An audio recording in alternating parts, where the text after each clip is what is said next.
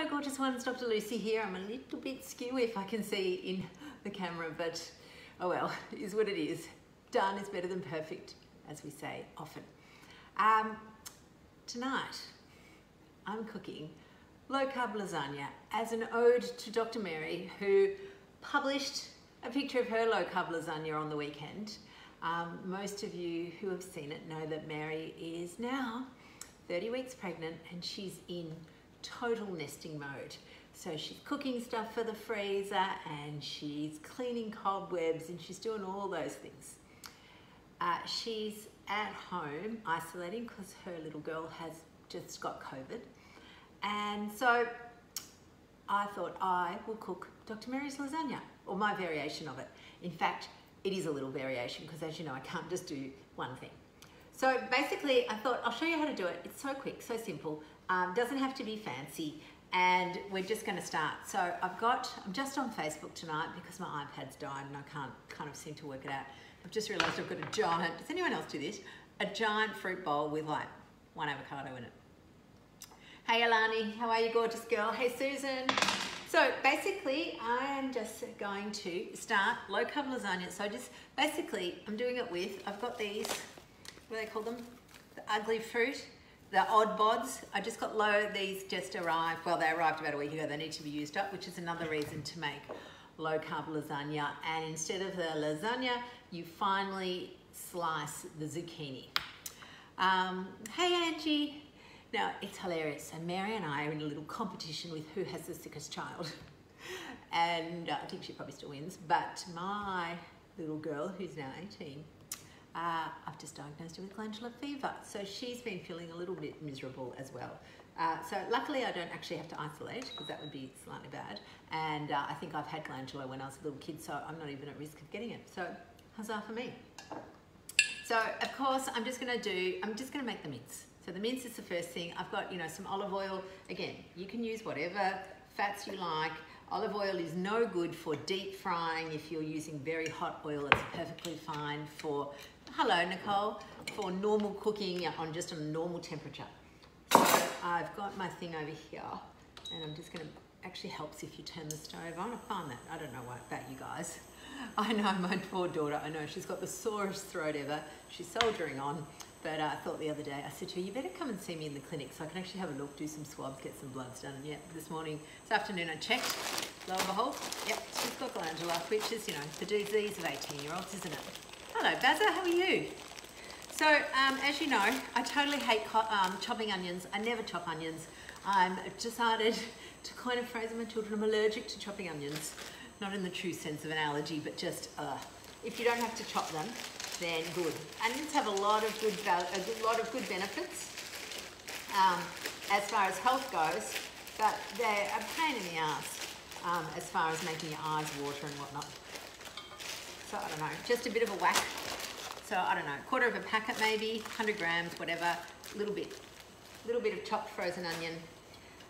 I started chopping stuff to get ready. I've got a half a, half of the, what do you call these thing, capsicum that needs to go. Basically, as you know, Tuesday night is often my clean out night and I've just barged on into my, into my fridge and thought, what, what needs to go? So there's one capsicum that was half done and this one here, it's a little on the turn, but it wouldn't. I probably wouldn't use it in a salad. It's got it's a bit wrinkly. Perfectly fine in some cooked um, food. Now here's some news. So there are some people who actually don't tolerate vegetables.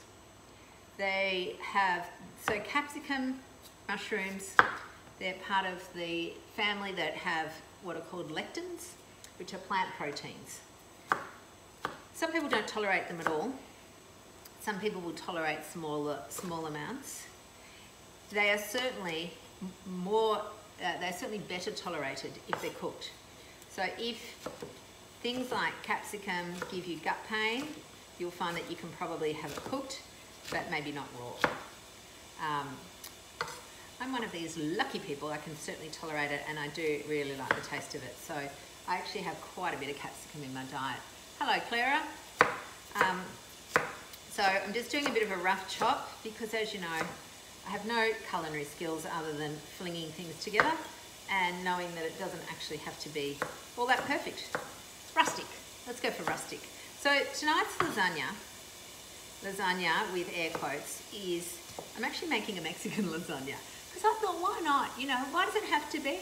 Hello, Leanne, darling, haven't seen you for a while. Um, it doesn't have to be traditional bolognese flavour. You can make it whatever you want. So I thought, yeah, I'm going to do like a Mexican lasagna, lasagna, whatever the Mexican, I don't even know if there is a Mexican layered dish. Mexican layered with um, the zucchini and the cheese and then oh, Penny can't tolerate capsicum or onion. Yeah, it, look, it's tricky for them, some people. It really is. It's a true life thing. So some people, you know, think, you know, that they're they're just being sensitive or whatever. But you know, if you can't tolerate it, you can't tolerate it, and that's just how it is. We can't. Not everyone can tolerate things. Um, even small amounts cooked can be easier though for those raw people Oh, Jenny can't eat capsicum cooked or uncooked. Oh, poo. Well, just leave it out for this recipe. So this recipe, seriously, it's bolognese stuff. So there's, I'm just whacking in two, um, a, a kilo of mince. I've got grass-fed organic mince from Cleavers, which I do like. I mean, I, I don't know anybody from the company, but I like the fact that they offer this as an option. It is expensive. If you can't afford it, don't feel bad most meat in Australia is um, grass-fed. So, you know, it's only when they specifically say it's grain-fed that you know, but the majority is grass-fed, they are grass-fed. Um, and the majority of meat is, little, actually, honestly, on organic, great big fields. You know, they're not out there spraying the grass with lots of DDT or anything. So the majority of it is what is referred to as organic. So amazing. Organic just really means no chemicals and lots of us, you know, if you grow your own veggies at home, then the majority of you are doing organic stuff. Now, here's a tip for these for this lasagna with zucchini.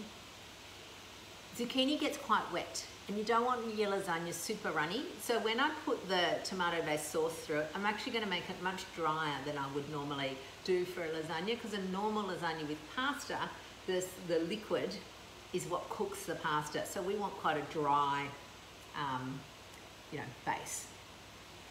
So I'll just give that a bit of a thing. Now, while that's cooking, if I had my lid, I would put it on, but I don't know where it is. And ta-da! Again, taco seasoning, it's so easy. I just love it. You can put in whatever you want though. If you wanted to make a bolognese, just stick, you can stick in some herbs, you can put some mingle in. Um, but I'll also tell you, because Mingle don't use any salt, and I like salt because low carb people, majority of low carb people need salt. So just a bit of a whack in there. Now, while I'll just give that a bit of a stir. While that's stirring, I've got a tip I wanted to show you. So, you know I love my fancy tea. Two things have happened this week that warmed my little heart. One was that I was doing a coaching call with one of our members on a Friday, a Saturday or something, Saturday. And she's sitting there with a giant cup of this fancy tea. And she said, yes, every Saturday morning, that's my new ritual. She's got the one of my other ones, but it's a bigger one. It's the one that says savor. And I just thought, oh, isn't that nice? So what I've discovered, I have tried so many different contraptions for tea, loose leaf tea. And I'll tell you the worst, if I was doing a choice review, the worst are these sort of little cagey things. They're only good for really big leafed tea. So I'll just show you those. Don't bother with them. You end up with a whole heap of kind of dirt at the bottom of your tea. It's so annoying.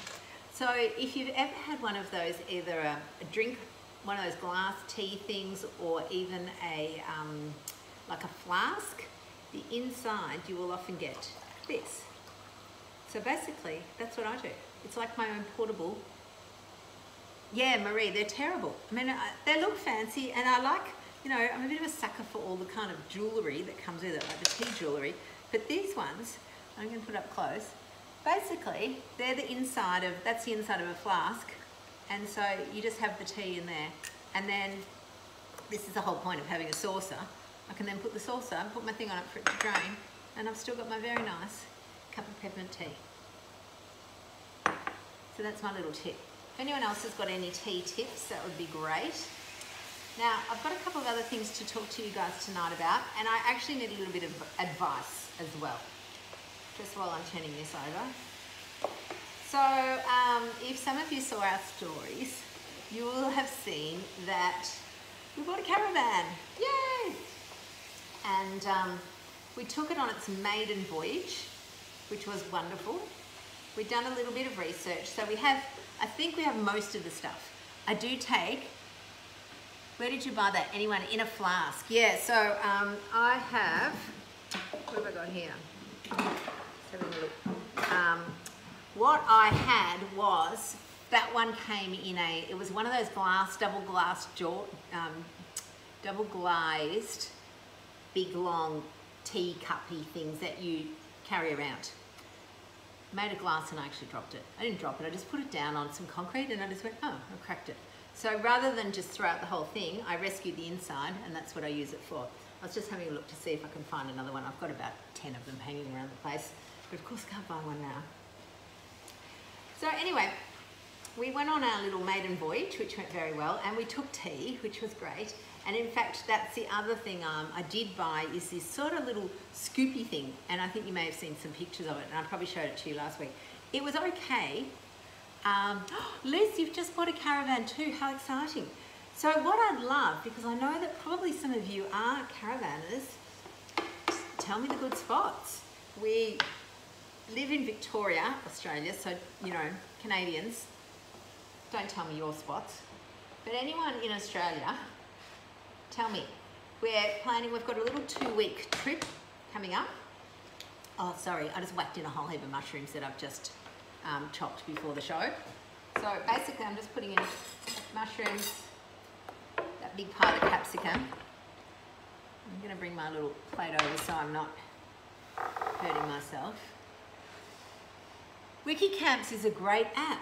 Great, thank you, thank you, Liz. I love what, what I love is that we all learn on a community. Somebody tells somebody something, another one person goes, yay, hooray. Um, so our, so here's another example of um, oh, what somebody written. Kanorung is amazing. Maybe not for a two-week trip. Right, okay, yes. So we've got two weeks coming up in, it's not till the end of May, but we've got a whole lifetime of caravanning ahead. So you know, any tips for the future, 2023, might start planning. Um, but here's another, what, what I love about the idea of the caravan is I can still run real life medicine because it's portable. Because you know, most of our stuff that we do is online.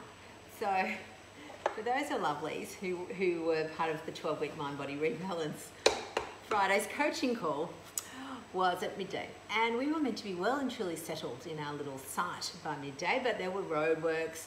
The thing took longer than we thought. The site was a bit awkward. And I was cutting it really fine. I thought, oh my God, what am I going to do? So I thought, I'll just sit in the car. I took my belt off. I blacked out the, you know, the background, made some fancy background. I thought it'll be fine. Except that my hubby couldn't quite park the van properly.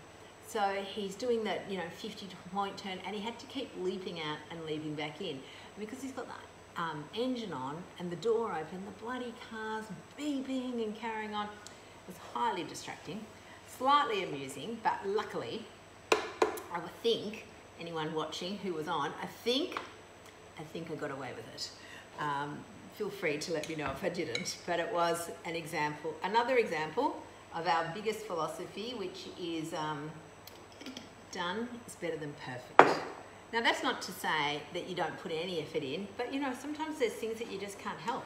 And for a lot of, in my old life, I would have got very stressed about that and thought, oh my God, this is gonna be a disaster and spent a whole heap of time wringing my hands and getting angry with my hubby, which would never have gone well.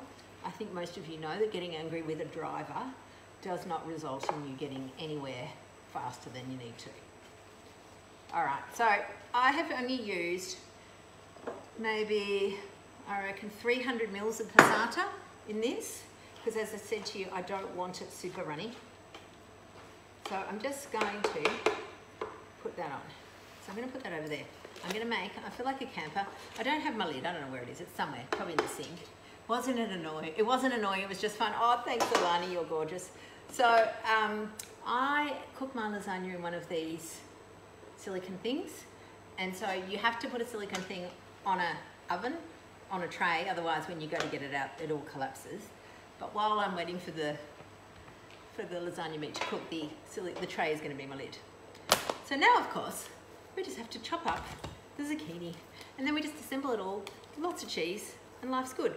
And you can serve it on the side with some avocado and sour cream if you wanted to make like a burrito lasagna, a burrito lasagna. Oh, could be called that. A taco lasagna, whatever you want to call it. Um, tip for young players, I use, this is reasonably spicy for those that don't like spice. So I use one of these per kilo of mince. If you you can certainly use it for 500. Oh, you missed, oh, sorry, just, oh, that little comment, sorry, darling, I just missed it. It went zooming out, lots of people jumping in and saying hello, and I just saw a big comment I was about to read out and it disappeared on me, I'm sorry. Um, but, so the key to this, these are really thin, look, really thin.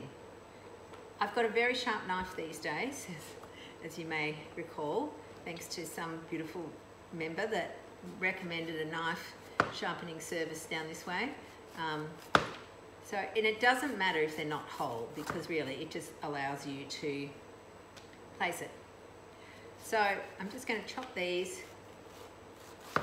They're not wafer thin, but they're not they're not thick chunks either. So that one's that one's quite a thin one. That one's quite thin. But this one, it's just a little bit thicker, but still not chunky. So this is probably the only time in my life where I don't cook chunk. Normally, as you know, I'm a big fan of the rustic cooking, thicker, just hack your way through. Um, you can do it thicker, but then you have to pre-cook it, and that's just a pain.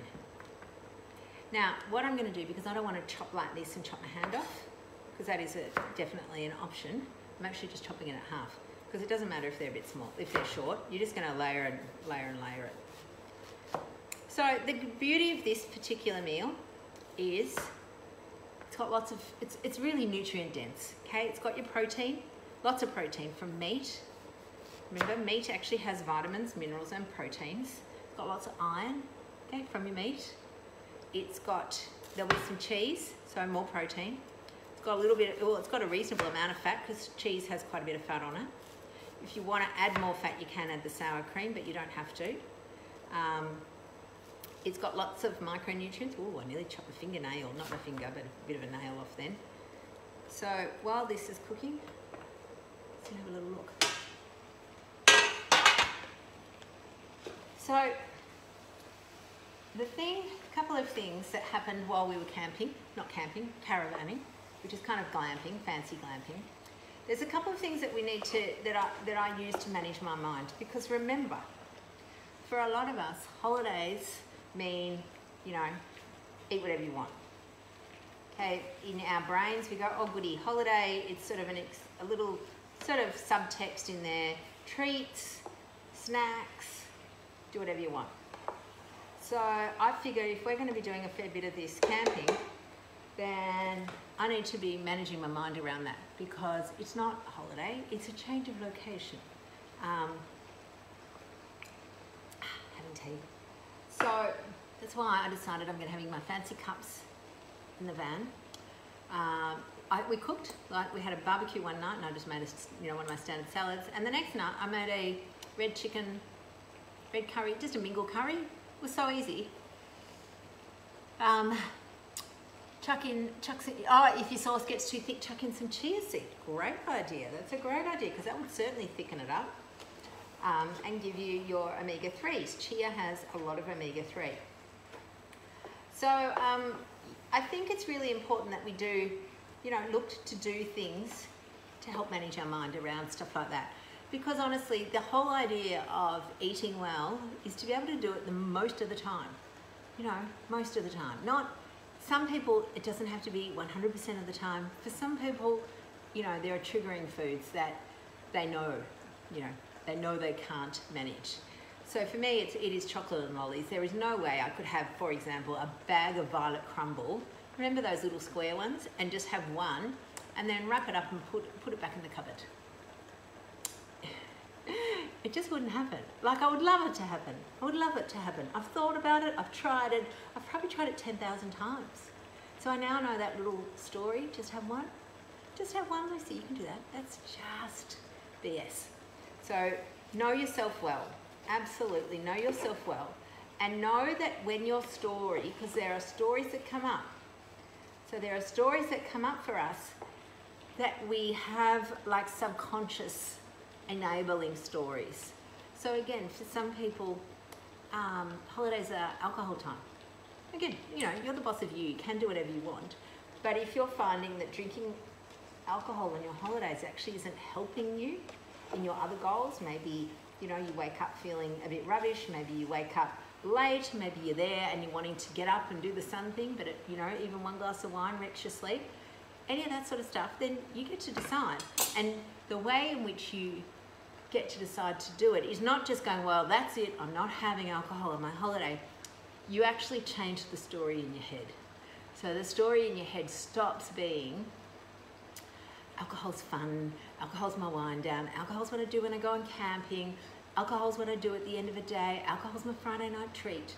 You stop all those stories and you change them. And you change them to things like, I love a cup of tea at the end of the night. Camping is not a holiday, it's just a change of location.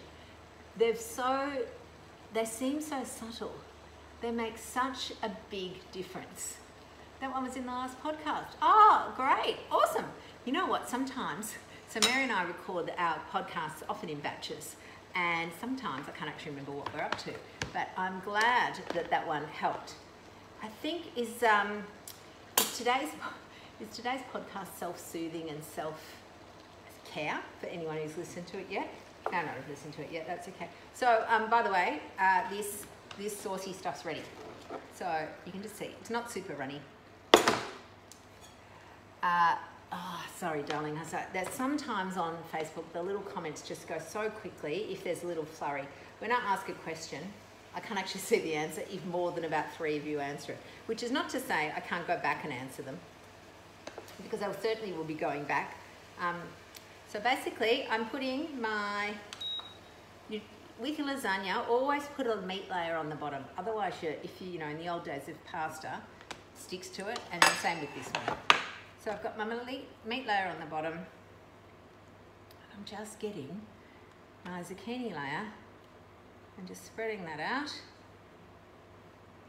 Doesn't, you know, doesn't have to be perfect but I would like it kind of, I'd rather have it overlapping than, than big gaps because otherwise it's hard to, um, you know, you don't get your layers, you just get mush. So that looks pretty good. I might actually put a bigger bit there. Yeah, so I'll show you. You see that? Yep. So then, like all good lasagnas, now I did, I'm confessing I didn't grate my own cheese today. Sometimes I do, sometimes I don't. So I'm just doing a sprinkle. Okay, sprinkle of normal cheese. And I've got a little bit of mozzarella. I've finally got through the great cheese mountain that was in my fridge. So, um,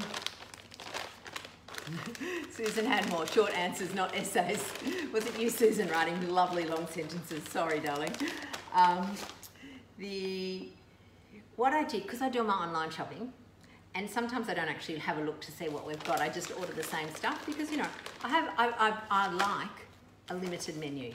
It, it reduces decision fatigue. I can change it up a bit by yeah you know making instead of having taco bowls I'm making taco lasagna.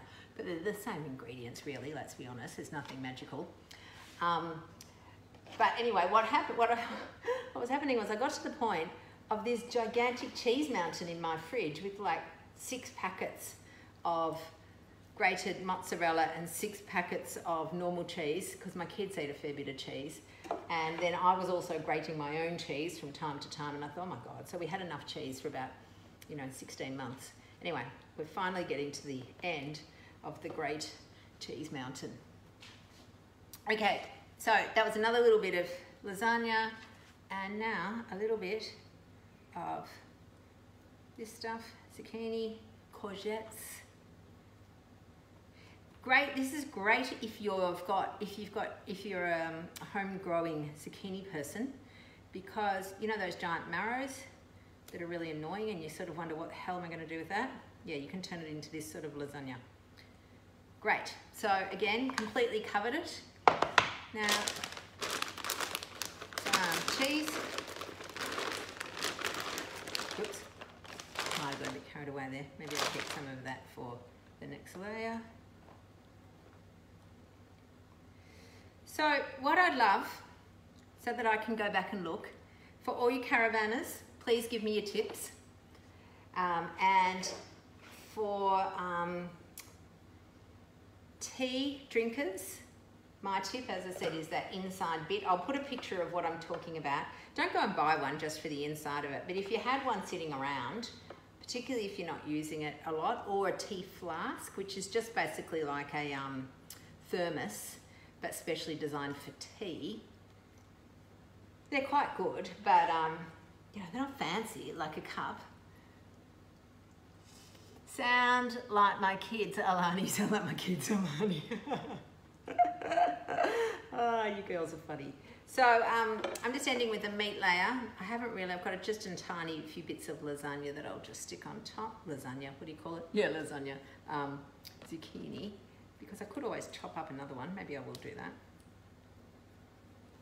Since I've got another lasagna, another zucchini here somewhere. An oddball. Does that, do other people do this? Buy the odd bunch, buy the, um, the you know, leftovers, Mary's officially jealous. This is Mary's lasagna. I'm calling this Mary's lasagna. It is a tribute to my beautiful business partner Mary, who is an absolute superstar. And you know, I'm lucky to have her in my life, and I'm lucky to be running a wonderful business like this that really does allow me to live my passion, helping people with their, you know, motivating helping them navigate their crazy brains, as we always say. Um, you love the odd bunch, beautiful. In fact, maybe, maybe we should rename our group the odd bunch. Sometimes I think we are a bit odd.